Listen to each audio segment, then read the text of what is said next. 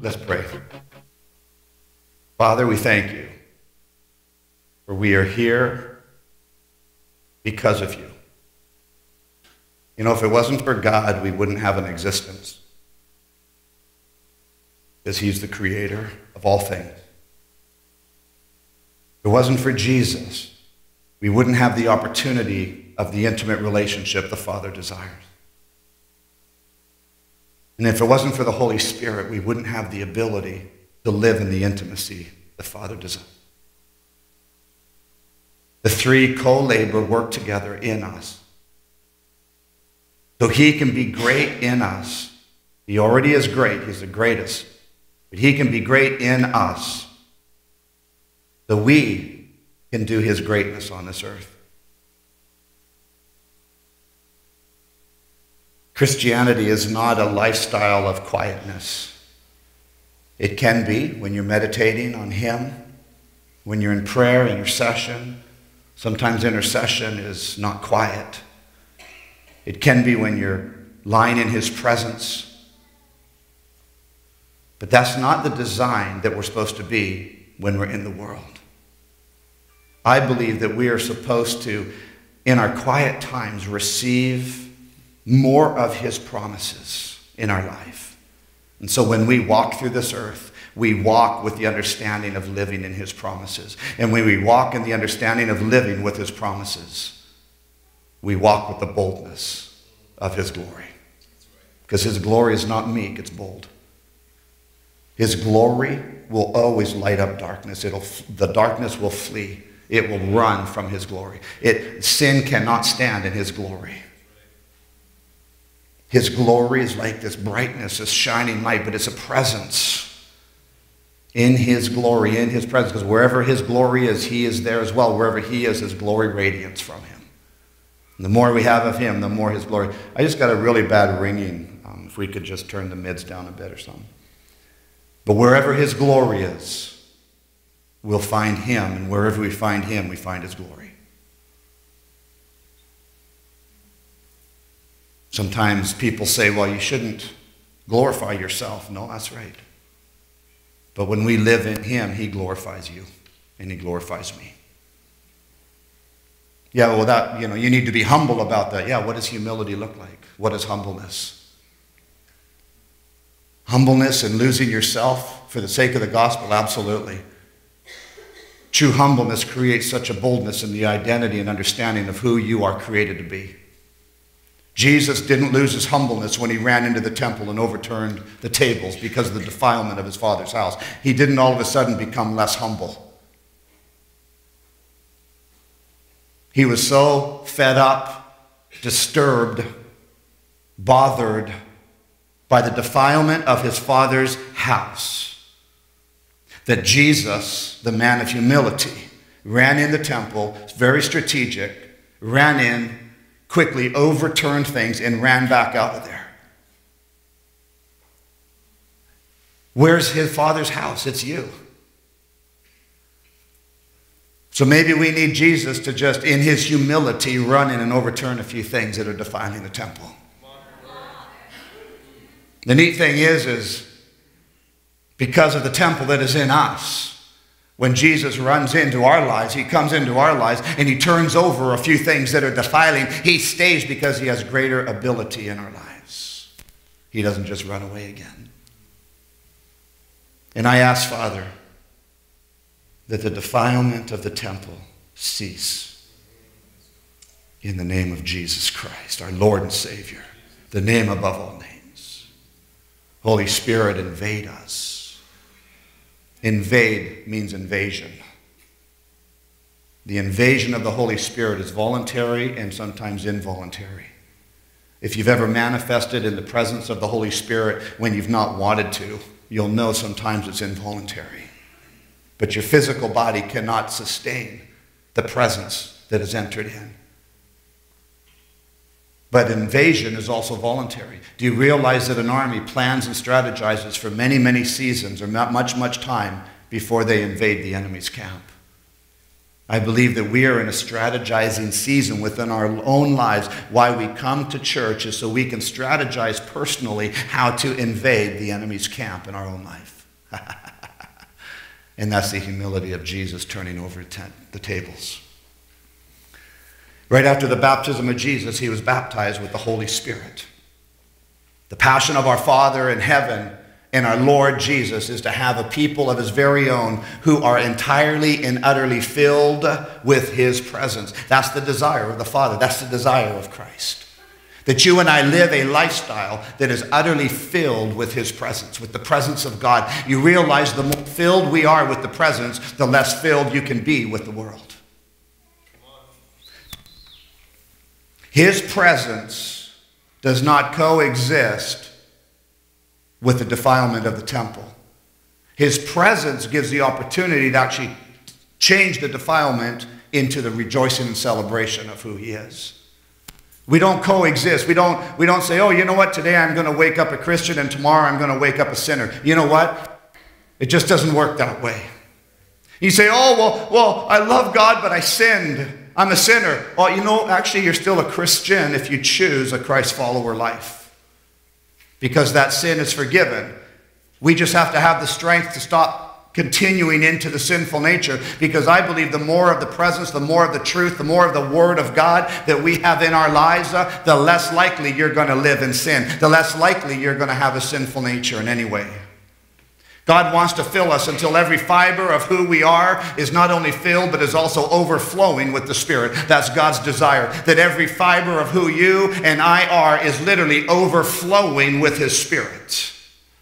God did not design us to be perfect, but He designed us to be perfected through Him. That means we're in a lifestyle to be perfected in Him. Are you perfect? Am I? Well, I'm probably the more perfect one in this place, but. Are, are you perfect? Am I perfect? Absolutely not. But that's not an excuse to not live in perfection. Well, I'm just, uh, that's like, that's like, well, I'm just a sinner, so that's my excuse to live in sin. What? What Bible are you reading? You're not a sinner, you're a saint. As soon as you receive Jesus Christ as your Lord, well, if you are this morning not saved, then you are a sinner.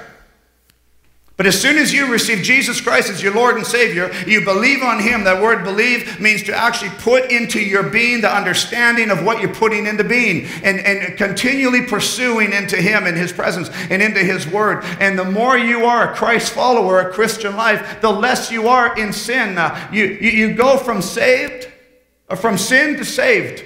You don't go partial salvation. You don't, you don't say, oh, okay, I, I'm drowning.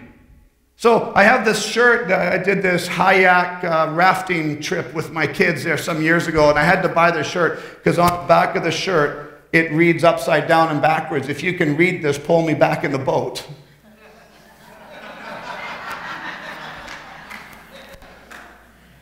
if you're drowning and someone saves you, what does that mean? You're no longer drowning.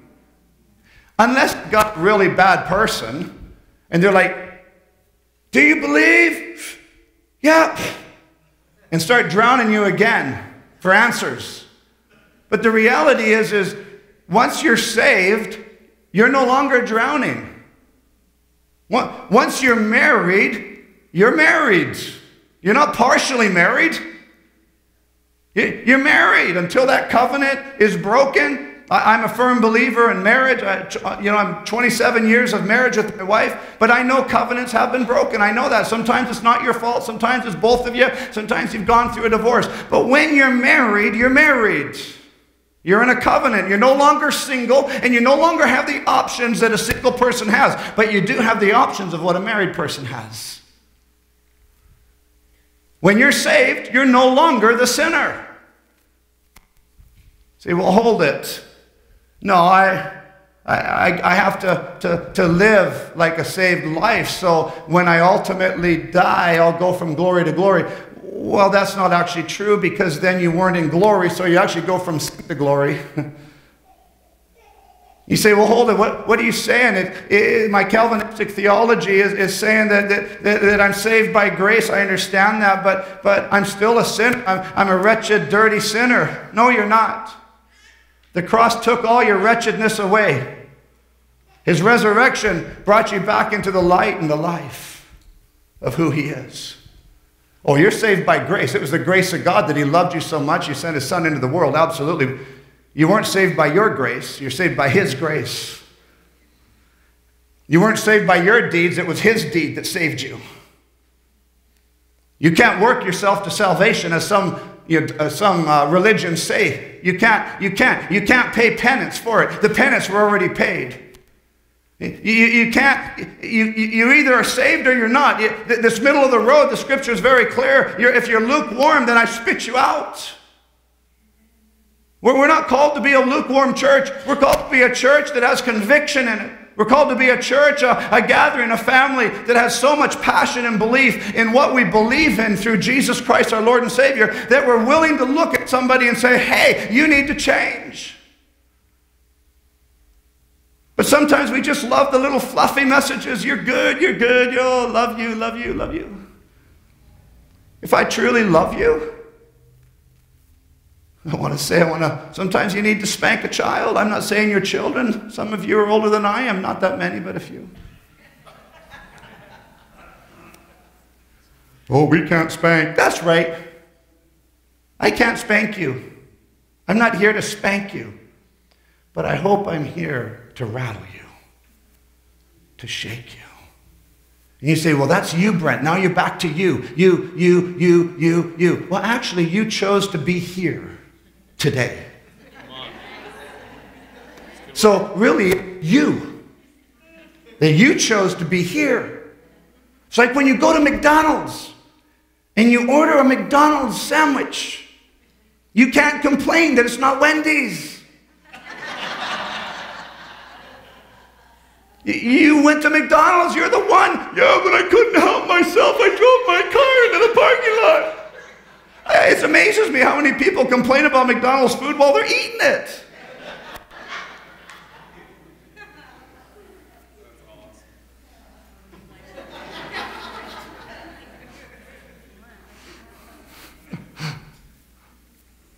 Yes, pray before you eat.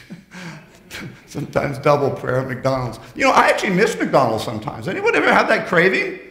I go to Mexico or I go into another nation. I'm going to Russia here in another five or six weeks. I don't even know if they have McDonald's over there. I don't know what they do. Actually, I have no idea. I've never been.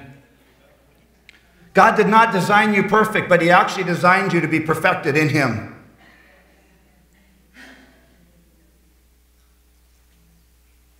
So don't beat yourself up when you're not perfect. You wake up in the mirror and you look at yourself and you go, oh my goodness. And you say, yeah, it's the goodness of God that you look in yourself in the mirror. We are not to be filled with the Spirit of God one time, but we are to be continually filled up again and again throughout life. I'll be controversial and say, we're not to be saved once, we're to be saved continually. Because what's the word saved? It means sozo. I was brought up once a Christian, always a Christian, and when I backslid as a teenager, they said, Well, you weren't really a Christian in the first place. Been there. But you know what? You don't have to tell me you're a Christian or not. That's really between you and God because sometimes words are cheap, they can speak a lot of things. And sometimes we need to hear less of this and we need to see more of that. In Ephesians chapter 5, verse 18, Paul is speaking, and do not be drunk with wine, in which is dissipation but be filled with the Spirit. In other words, uh, he's implying that when you're filled with the Spirit, you're happy. Wine gives you a headache afterwards. You're happy for a moment. I'm not against wine, just against the headache.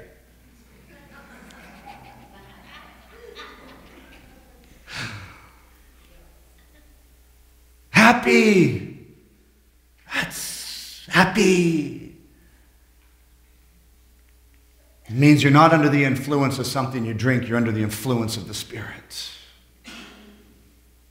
The word filled, It means to be continuously and constantly filled overflowing when Paul said, Be filled with the Holy Spirit. The book of Acts reveals this truth that the disciples and apostles were constantly experiencing this refilling of baptism experience. The Father delights to filling us to overflowing. He doesn't want to fill us a quarter or halfway. He wants to fill us to where we're overflowing, overflowing, overflowing, overflowing. Because we're happy, happy, happy people.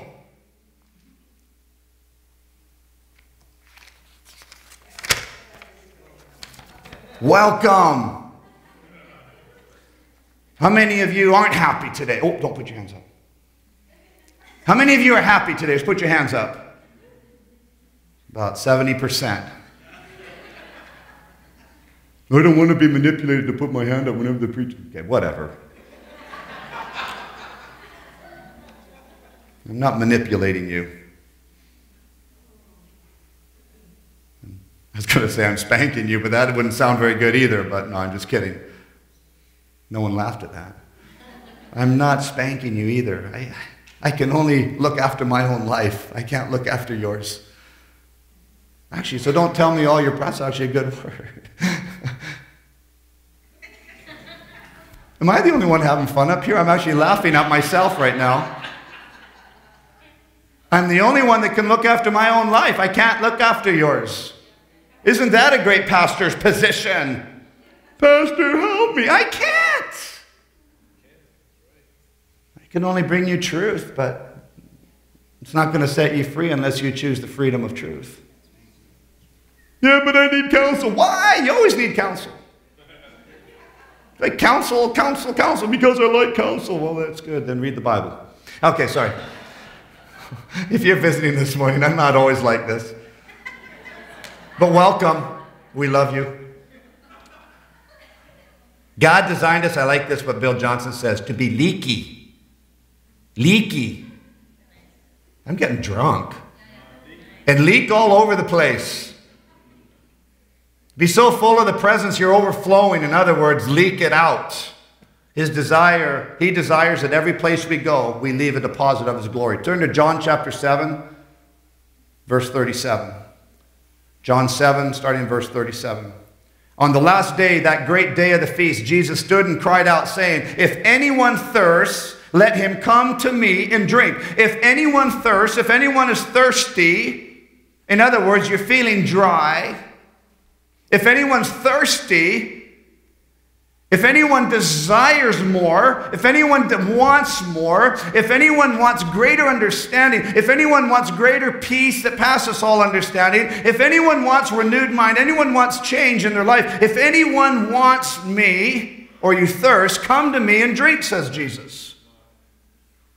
And then the answer is verse 38 He who believes in me, so if you come to him, it shall, and you're thirsty, when you come to him, you believe in him. And when you drink of him, he who believes in me, as the scripture has said, out of his heart will flow rivers of living water. So you take a drink, but out of your heart flows rivers. You take a mouthful of his presence, and out of you flows rivers. It's a multiplication effect that happens when you willfully step in to what he has for you. Verse 39, but but this he spoke concerning the Spirit. So he's talking about the Holy Spirit at this moment whom those believing in him, the Holy Spirit would receive. For the Holy Spirit was not yet given because Jesus was not yet glorified. What had, hap- what had to happen before the Holy Spirit could be given to the believers? Why was the Holy Spirit at this point not given to the believers? Believers, people had to go to him and drink. They had to go to him and drink. The Bible tells us that the Holy Spirit has been given to us as a helper, a comforter, an encourager, and to strengthen us. Anyone ever feel like they, they need a helper? Anyone ever feel like they need a little comforter? How about a little bit of strength? That's the Holy Spirit. That's, that's part of his job. That's, that's what he carries. The Bible who says that the Holy Bible also says that the Holy Spirit has been given to convict the world of sin and righteousness for judgment to come. For he has been here to convict the world of sin and righteousness. And this is where I want to go to today. John chapter 16, starting in verse 5. John chapter 16, verse 5. But now I go away to him who sent me. That's Jesus speaking. And none of oh, and none of you asks me, Where are you going? But because I have said these things to you, sorrow has filled your heart. Verse 7. Nevertheless, I tell you the truth. It is to your advantage that I go away. For I do, if I do not go away, the helper will not come to you. But if I depart, I will send him to you. So here Jesus is talking to his disciples. He's saying, Look, I got to go away. And you're going to mourn going away. You're going to be sad that I'm going away, but I need to go away because when I go away, something more is coming. Verse 8, and when, and when he has come, he will convict the world of sin and of righteousness and of judgment. Of sin, because they do not believe in me. Of righteousness, because I go to my Father and you see me no more. Of judgment, because the ruler of this world is judged. I still have many things to say to you, but you cannot bear them now. However, verse 13, when he, the Spirit of truth, has come, he will guide you into all truth. For he will not speak on his own authority, but whatever he hears, uh, he will speak. And he will tell you things to come. He doesn't speak on his own authority. When the Holy Spirit speaks to you, he's speaking on the authority of the Father. And he comes to help guide us into all truth. Verse 14, he will glorify me, for he will take of what is mine and declare it to you. All things that the Father has are mine. Therefore, I said that he will take of mine and declare it to you. Holy Spirit, come. What are we saying? What are we saying? Is this speaking without this and this absorbing what's being spoken? We sing, Come, Holy Spirit, come. My goodness. What you're saying is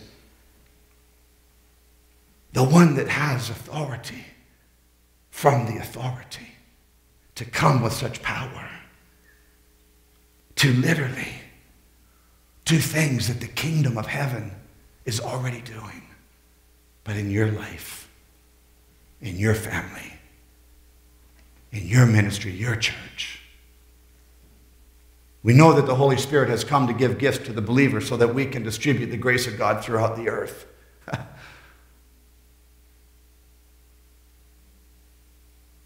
I would summarize the work of the Holy Spirit as the Holy Spirit has been given to each one of us to make us more like Jesus. Ephesians chapter 2, verse 10. Ephesians 2, verse 10. For we are his workmanship, created in Christ Jesus for good works, which God prepared beforehand that we should walk in them. Where have we been created? In Christ. What was the purpose? To walk in good works to walk in power, to walk in authority, to walk in good works, to help do things for each other, to help be family, to help be sons and daughters, mamas and papas, grandmas and grandpas. He's, he's called us to be family, to do good works. Uh, how many of you love it when you, when you connect with a family that they're all doing good works in the family? It's an amazing experience. It's an amazing thing. And as a parent, I, I get so excited when I see my kids doing good, doing good works. But we're so fearful of this good works thing. Well, he's going to ask me to be a Sunday school teacher. Absolutely, I am. So you can be free in the Holy Spirit. He's gonna, he's gonna, he's gonna raise another offering. Absolutely, we are. So you can be free in your giving and get blessed and receive the presence of God in another whole level as you give uh, what's dear to your heart. Well, money's not dear to my heart. Of course not. I'm sure none of you really like money, anyways, right? No, I need money. I don't like it. Yeah, right.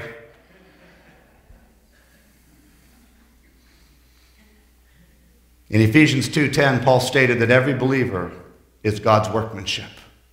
Every one of us is God's workmanship. That word workmanship in Greek is the word poema, which means the product of. Poema is the same word from which we get the English words poem and poetry. So you're, you're a product of the kingdom. You're a product of the king. And you're basically God's creative work. Looking at some of you is very creative.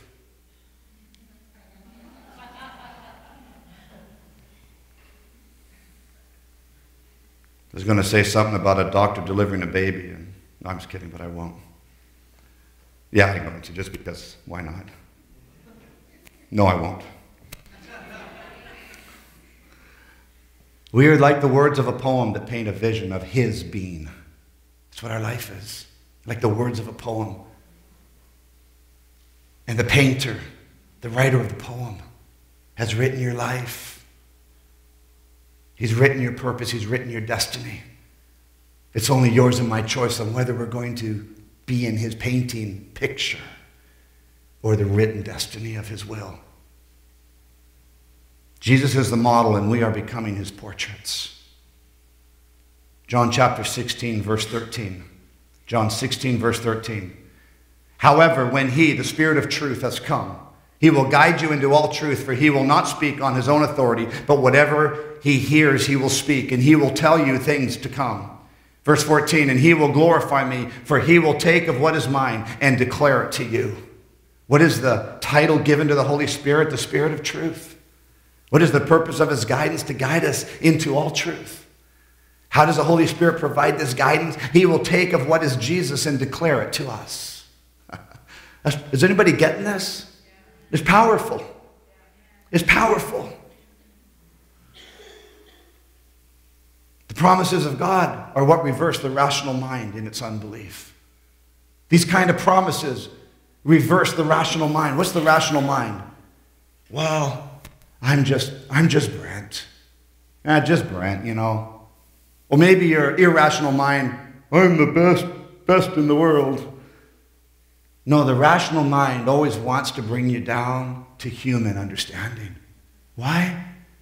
Because human thoughts are rational. It, I don't want to go there because something might happen.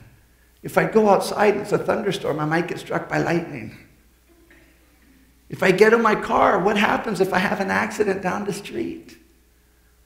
What, what, what if, what if, what, what, what if I go on that missions trip in July, but I don't have the money to pay for it? And what, what, what, if I, what if I even try to get the time off and my boss says I can't? I mean, what happens then? And then he's not going to like me, so I, I might as well not even ask.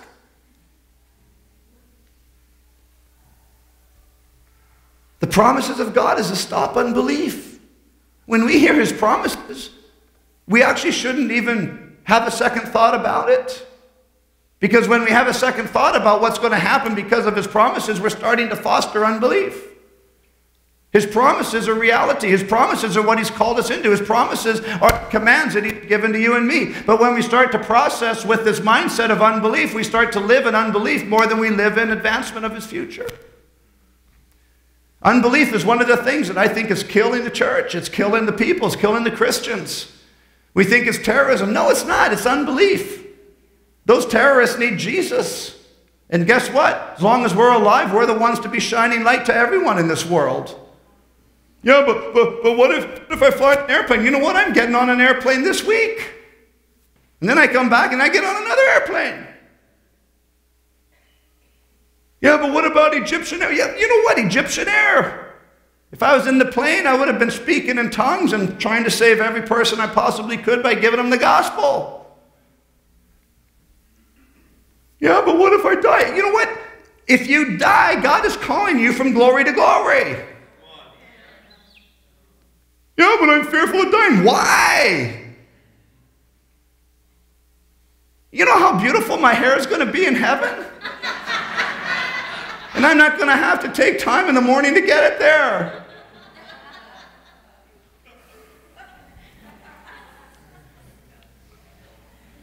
The promises of God gives opportunity to repent, turn, and embrace the word that inspires genuine faith. The faith of heaven manifests itself in this natural realm as impossibilities becoming poss- realities. It, that's, how, that's how the kingdom of heaven manifests itself. It takes impossibilities and brings them into realities.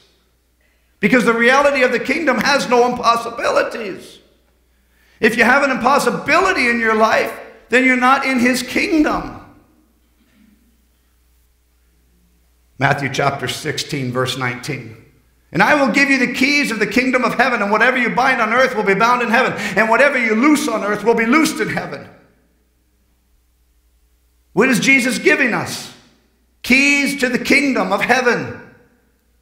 Whenever you bind on earth will be bound in heaven, and whatever you loose on earth will be loosed in heaven. This model we live here on earth is what we what we we do what we hear the Father say and see him do. That's the model we're to live. Today, that's the model we're to live. What we hear the Father say is what we do. It's, it's really not subject to everybody around you, what they're going to think of you. Because when we start the process, well, what is someone going to think of me? Now, I'm not talking about stepping out of the culture of honor. If you stood up right now and started yelling out some blasphemous, you know, uh, prophetic lie, why? Because I know that it won't be blasphemous if it's truly prophetic. If you stood up right now, there are going to be a few people come and, hey, let's go outside. To take you back to the bushes and beat you out. I'm just kidding. No, no, no. There's a culture of honor. There, there's order in the kingdom. There, there's respect in the house. So I'm not giving you freedom to go disrespect people. That's not what this is about. I'm not giving you freedom to go uh, exercise the authoritative power that you carry when self is indulging it or lack of identity. But I am giving you the authority in this house to exercise an entrance into his presence that will radically shift you and shift us as the family shifts together. What does that look like? I don't know. Different for every person. But I know one thing if you're not changing, you're not living it.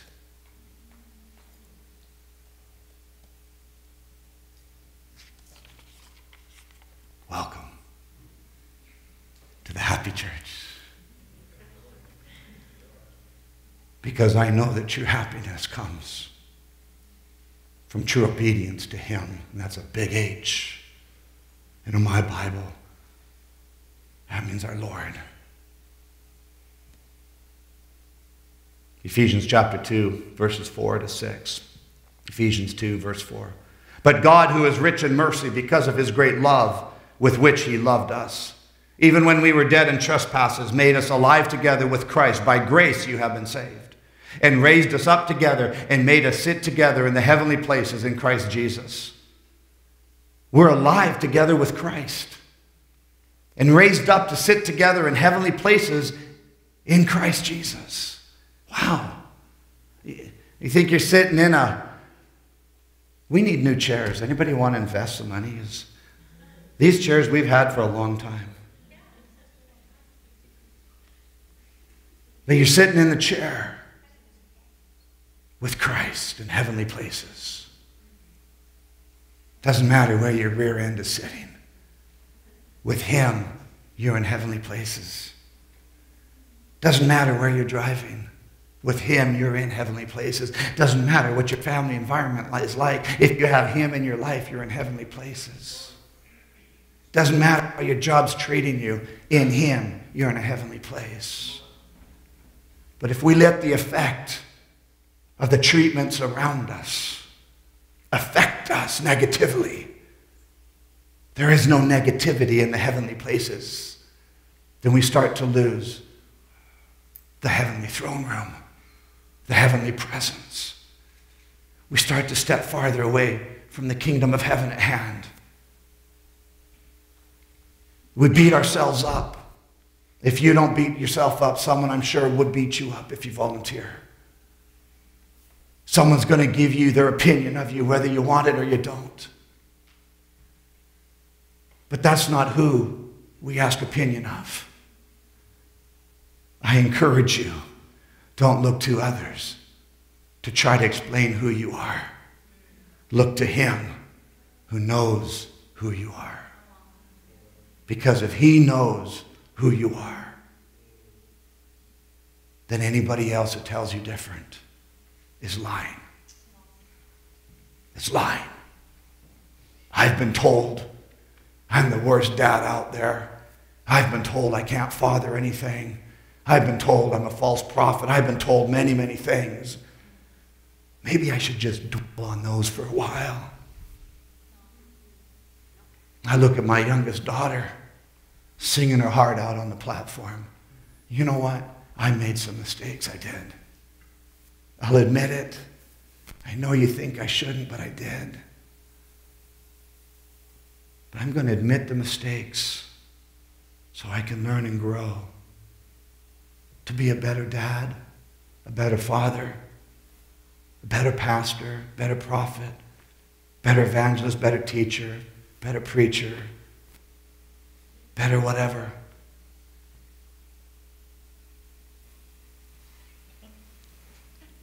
That was my music sign. If you ever see me do that, that's what that means.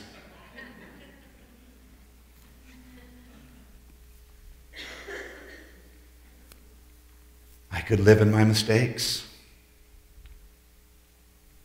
Guess who knows them best? Guess who remembers them most?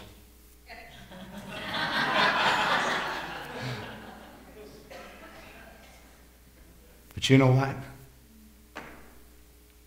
I'm not perfect, but I'm in a season to live life, to become perfected in Him.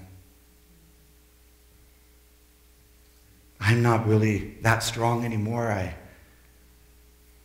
I, don't know, something's happening as you age. Anyone ever felt that? Like you kind of just can't do what you used to do sometimes.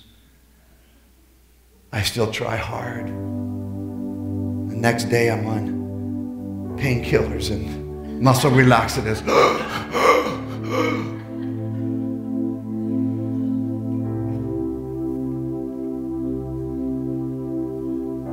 Don't try to be who you used to be because that's not what you're called to be. Be who you're called today because that's your destiny.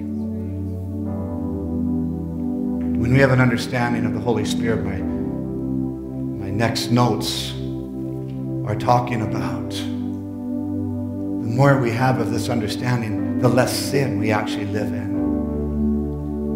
Because ultimately, that's, that's why you're on this earth with a free will to have, to have the ultimate choice in your own life of whether you live in the identity of Christ or you live in the identity of man. Ah, there's a lot of ministers out there that want to control you with their lack of identity. Because usually a controlling minister or a controlling leader or a controlling husband or a controlling wife or a controlling child, a controlling person, usually they're so controlling because they actually have an identity crisis in their life. And what usually comes up is they speak to others like it's death when it's their own struggle. The reality is, is none of us in here are perfect. But I know the one I'm trying to become. I know the one that models the life for me to live. I know the one, the Holy Spirit, that's going to help me become more like that one that I'm trying to be a model for. And his name is Jesus Christ. Because he is the life that lived this earth with the best and perfect testimony. He never sinned. You say, oh, wow, you have an amazing testimony, Brent. Look at all the sin you did. No, actually, that's a bad testimony. I like to look at my wife because I don't, I, I think she was born a Christian. Her first breath was, I do. I love you. She's perfect.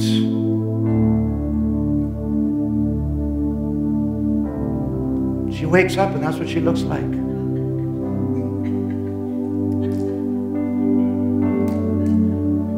Saying that because I take more time in the bathroom than her now. Doing my hair.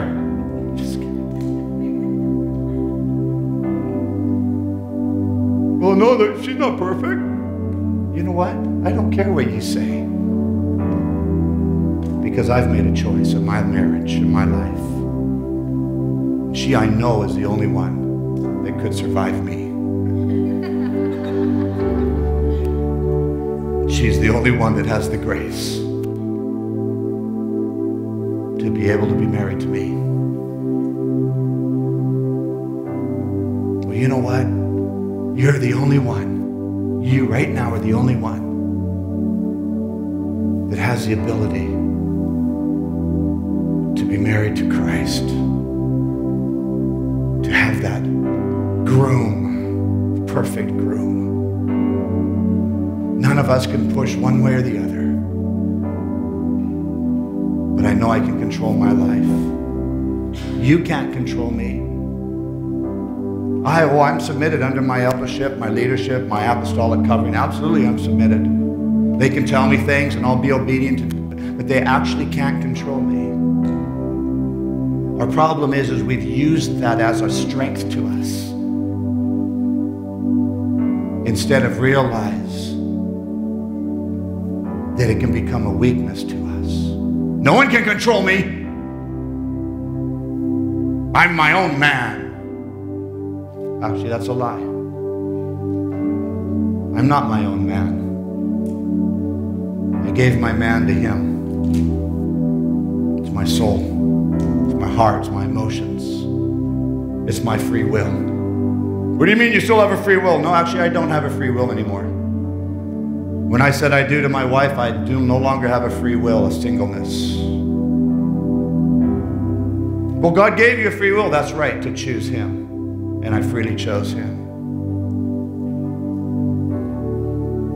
And so I have chains, not chains of bondage, chains of strength. I'm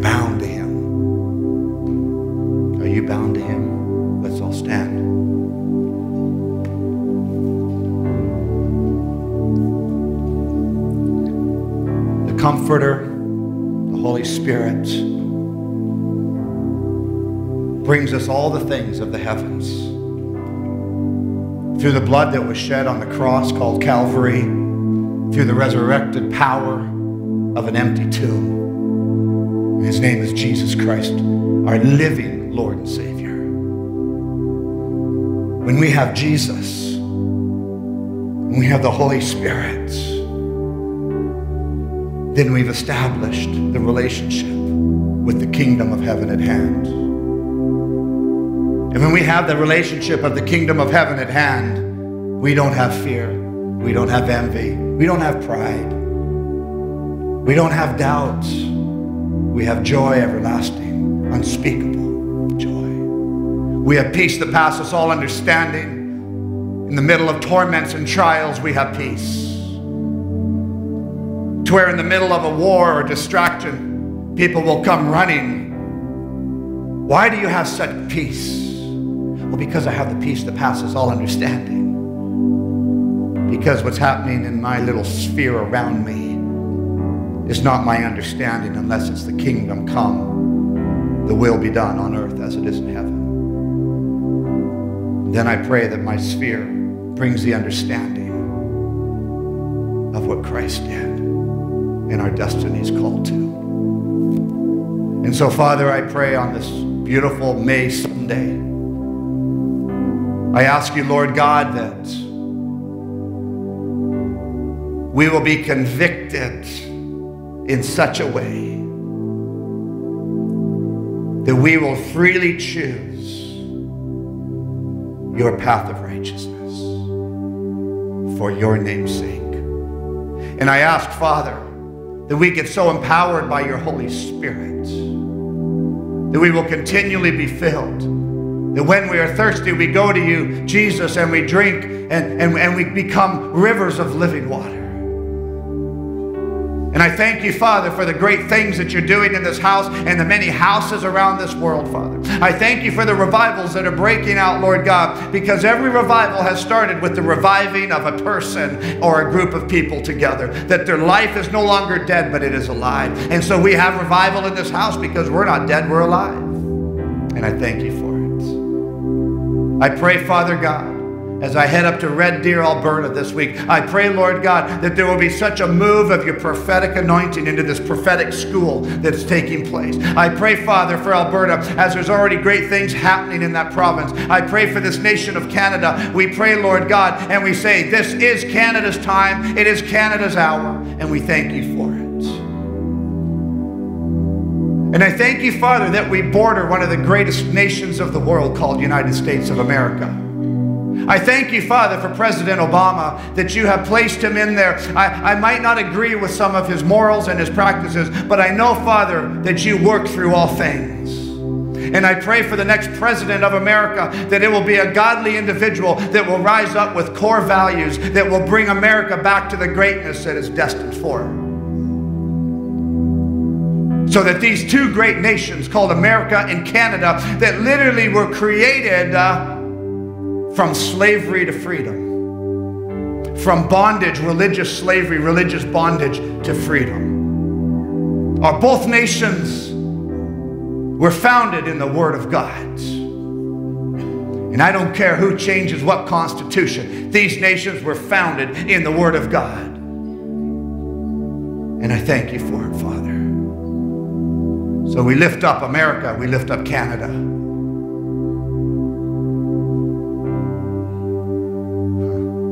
Say this together Our Father, who art in heaven, hallowed be thy name. Thy kingdom come, thy will be done on earth, in Canada, in America, in the world, as it is in heaven. Give us this day our daily bread and forgive us our trespasses as we forgive those who trespass against us.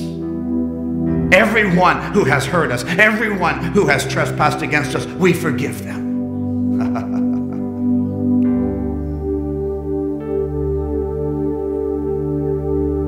This is the day that you have made.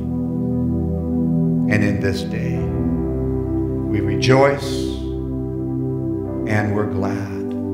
It implies you can rejoice without being glad. But rejoice and glad together is what makes this day great.